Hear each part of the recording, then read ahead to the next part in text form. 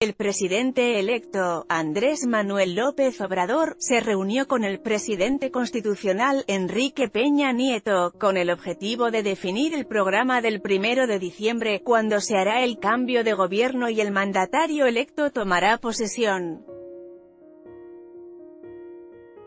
En su cuenta de Twitter, López Obrador detalló que el encuentro tuvo lugar en su casa. Invité a comer a mi casa al presidente Enrique Peña Nieto. Me he reunido en otras ocasiones con él por razones de carácter institucional, invité a comer a mi casa al presidente Enrique Peña Nieto. Me he reunido en otras ocasiones con él por razones de carácter institucional. Ahora, nos encontramos para definir el programa del primero de diciembre y para agradecer sus atenciones. twitter.com barra rnq1ztacfisk, Andrés Manuel, arroba López Obrador barra baja.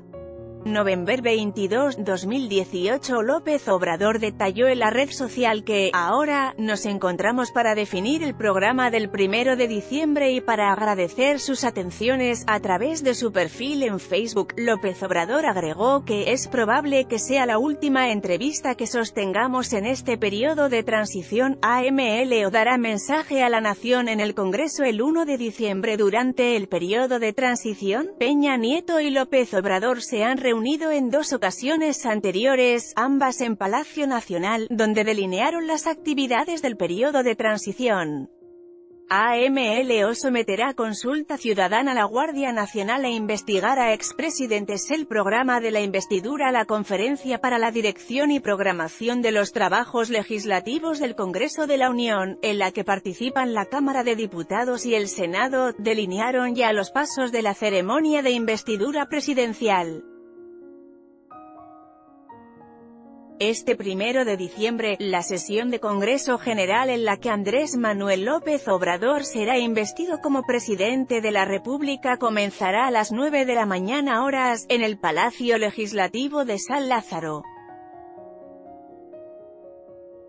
Tras leerse el bando solemne en el que se le declara presidente de los Estados Unidos mexicanos, los representantes de cada una de las bancadas en el Congreso tendrán una intervención de hasta por 10 minutos.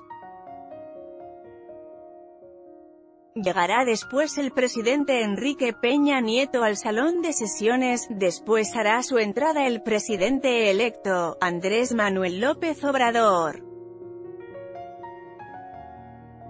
Peña Nieto entregará la banda presidencial a Porfirio Muñoz Ledo, presidente del Congreso, quien la dará a López Obrador. Una vez investido, López Obrador dará un mensaje a la nación y después se cantará el himno nacional, tras lo cual culminará la ceremonia. Punto. En Palacio Nacional, por la tarde.